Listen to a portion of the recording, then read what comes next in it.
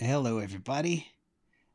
I hope everybody's doing good. I've done a bunch of these videos. Uh, I personally am fascinated by the scarcity of Bitcoin. This is the fifth time I've tried to analyze and estimate the actual number of whole coiners in the world. And about a month ago, I did a video on the peak whole coin status which was super interesting as well. Basically, it's impossible, physical impossibility, that there will ever be more than 1 million whole coiners. But there's a lot more than that. It's actually an awful lot less. And this will be the shocking truth revealed, the inside of the whole coiner world. And uh, let's just jump in. This is going to be a fun one. And it shows you the importance of this asset as we go forward. And of course, it's not investment advice, edutainment. That's all I do here. And uh, let's talk as well. If you want to amplify your intelligence, this is the only place on earth you can find this content. Let's jump in and go fast, but it's a fun one. So, first of all, everybody talks about the Bitcoin addresses breaking 1 million unique addresses holding one more, more than one Bitcoin. Uh, so, when people hear it's like, oh, it's more than a million people actually have more than one Bitcoin. Is that really true? It's actually 1.007 million people as of now, per this great chart by our friends at Blockware Solutions. Um, so let's set the stage. So here, there are 1.007 million unique addresses holding one plus Bitcoin. And many claim 1 million people own more than a whole Bitcoin, but I believe this is very misleading. And the unique addresses with more than one Bitcoin is a lot less. And we're going to get to that at the end of the show. In fact, it's going to be a double whammy because I'm going to show you it's a lot less and how it's actually even a lot less than that, too. So, and by the way, I've been talking about the whole coin status since I started this channel. It was, I've known since 2017 having one whole Bitcoin will be a very special place to be. And I have incentivized many people to make that their goal. So, congratulations to all of you out there. Keep your security safe. But let's talk about addresses for a second. Now, a Bitcoin wallet consists of a private key and an extended public key. Some people call it XPub. And public addresses used to receive Bitcoin are derived from the XPub, which can create over 4 billion unique addresses. And this is to enhance privacy. Most wallets generate a new address each time you receive funds. And there is no way to know that any two addresses derived from the same XPub, which is like a wallet unless someone shares their XPub. And that is the part of what allows Bitcoin to be both simultaneously 100% transparent, but also pseudonymous, i.e., private, which is just one of the many fascinating things about this whole protocol. Um, so, another example of how people have many different addresses, this is from SGG and Patreon. One reason why the Bitcoin wallets have increased is because of BRC20 and ordinals alone. This one individual has created four wallets for that exact reason, on top of many, many other wallets. So again, it's not one wallet per user. Each individual can have many. But let's jump into the math behind that. Let's look at some XPub math here. Uh, public addresses are derived from that XPub, like I mentioned.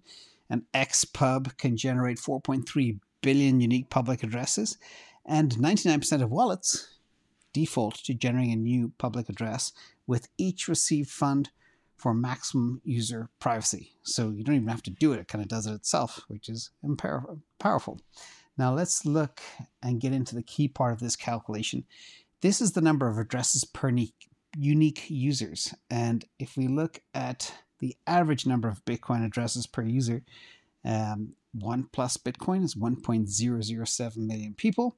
The unique public Bitcoin addresses is 1.15 billion, and the estimated number of Bitcoin users is 36.8 million, and that means the average number of addresses per user is 31.25. Not two, not four, but 31.25. That is a lot. Uh, in my old calculations, considering things like lost coins, etc., I had assumed in some calculations at least three users or three addresses per user, then six, then eight, etc. as we went on. So a big shout out as well to Blockware Solutions for these great charts and these great ideas. But here you can see three things. One, the Bitcoin price. Two, the total addresses. And three, in green, the total entities. Remember, the total addresses is 1.15 billion addresses like we just covered. but that only represents 36,800 entities or unique users. Think about that. Not 1 million. So, part one of this whole calculation again, if we look at the number of addresses with 1 plus Bitcoin, it does not equate directly to the number of whole coiners because most users have multiple addresses, like we've whipped to death here with 1 plus Bitcoin. Now, we can account for this by dividing the number of addresses with 1 Bitcoin by the estimated number of addresses per user and the estimated number of addresses per user is 31.5. So if we divide the number of addresses with 1 plus Bitcoin divided by 31.5, we get 31,985 whole coiners. That is the estimated number of whole coiners. That might be a shock to many of you. But there's more. There's another twist to this as well, because it cuts both ways. Let's look at part two. Part two is very important because the number of addresses with 1 plus Bitcoin does not equate directly to the number of whole coiners because most users have multiple addresses with 1 plus Bitcoin. And we can account for this by dividing the number of addresses with 1 plus Bitcoin, again, by the estimated number of users. But what we need to do is calculate the average bag per address. So if we take 1 divided by 31.25, we get about 0.0317 Bitcoin per average address. And if we take that, that's about $960 worth. Multiply or divide it by 0.0317, you get a whole coin or about $30,000 in value. And the number of addresses with 1,000 plus of Bitcoin is 7.4 million addresses. And subtract whole coiners with 1 plus Bitcoin per address, which is 1 million, equals 6.4 million. Now divide that 6.4 million by the 31.5 addresses per user, and you get 203,215. So sorry for spelling out like that, but if you show the step-by-step calculation, it makes much more sense. So basically, adding part one and part two together, part one is 31,985 users. Part two is 203,000. You get 235,200 whole coiners only on planet Earth. That's less than a quarter of a million. But there's more. So Adam Back uh, did come out and he was intrigued by the whole 1 million UTXOs and Bitcoin with, with one or more Bitcoin. And he said, Are we at peak whole coin status? And this whole concept, kind of as Bitcoin price soars, becoming a whole coiner will become harder and harder, and it will become unattainable for new people that come in. Um, and that was the whole thesis. Basically, he said, well, 10 million whole coiners is completely, absolutely impossible. And therefore, he also believes we're at peak whole coin status.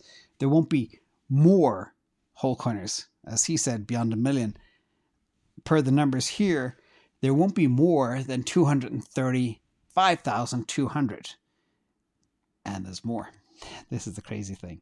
So let's go through some statistics to show you how special this is. So, what is the max percentage of millionaires that can ever become whole coiners by 2026? I calculated this before. Only 3.38% of millionaires can ever become whole coiners. That's the problem with being late. Let me show you the math behind that. Uh, uh, again, more numbers, but if you look at the Bitcoin accounted for, 8.3 million per my calculations. Bitcoin left to mine, 1.65 million. The balance is 11 million. 30% may sell, that's 3.3 million. And there will be 97.9 million millionaires by 2026. So if the 3.3 sell to those 98 million millionaires, only 3.38% can actually buy one. But the problem is, any millionaire that decides to get some Bitcoin, they're not going to buy one. They're going to buy as many as they can. So that 3.38% is a maximum number. Again, that's a peak, peak number of millionaires that can actually buy Bitcoin. But there's more. What happens when a big fish like Saylor comes in? Uh, Michael Saylor has 152,333 Bitcoin under MicroStrategy, plus he has about 37,000 himself. And the average Bitcoin per human is 0.00175. So Saylor coming in and buying, okay, if he buys 152,000, he is denying 87 million people the average Bitcoin per person. Nearly 90 million people can never have the average level of Bitcoin per person. Taking the total supply, which I take as 14 million, divided by the population 8 billion, you get those numbers. Again, it's fascinating. But there's more. Let's look at some more stats here in the conclusion. Uh, first of all, to remind you all, there will never be more than 235,200 whole coiners. It's dwindling, and I'll explain one big reason why too. And owning one Bitcoin will put you in the top 0.0044% of the world's population in terms of wealth. Again, having fun one full Bitcoin will put you in a class of your own.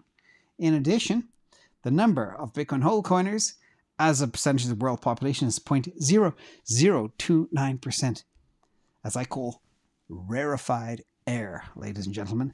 And there's more. The average net worth of the world population today is $7,000. That's the average of the 8 billion people on Earth. You take all the wealth on Earth, you divide it by 8 billion, you get $7,000. But there's a huge concentration at the top, the top 1%, top 0.5%, etc. So but that is big. And Bitcoin per millionaire, as I mentioned, assuming nobody else has any, would be 0.141 Bitcoin in 2026. But there's people that got in early. They're never selling, they're holding forever. So, again, that's just an impossible number. But it shows you how scarce this thing is. When if it was only millionaires that wanted to buy Bitcoin, each millionaire would never have more than 0.141 Bitcoin. But there's more. the amount of Bitcoin you need to have more net worth than the average person on the planet is only 0.23 of a Bitcoin. And that will give you more wealth than the average net worth uh, of anybody else on the planet. But that's assuming all your worth is in Bitcoin. So it's a big deal. That's also why the scammers are looking for you. So be careful with your security. Don't trust anybody anywhere. And remember as well so things like gold, Demand finds supply, but not with Bitcoin because supply is capped. Okay, you can't dig deeper and get more. That's it.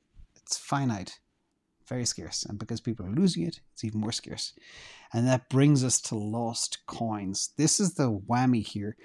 I said 235,000 whole coiners, maximum number.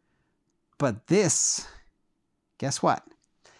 The math that we just walked through does not take into account the 5 million lost coins. Okay, that is 26.3% of the supply gone forever. So, my estimate is actually less than 200,000 whole coiners will ever exist on the planet. And let's talk about some price targets. Uh, Cathie Wood came out and said this just yesterday. Um, she said she predicted that Bitcoin could reach 1.5 million by 2030 that's her bull case for Bitcoin because it's a safe haven asset. Imagine all the millionaires, the 90 million millionaires wanting to get a safe haven asset.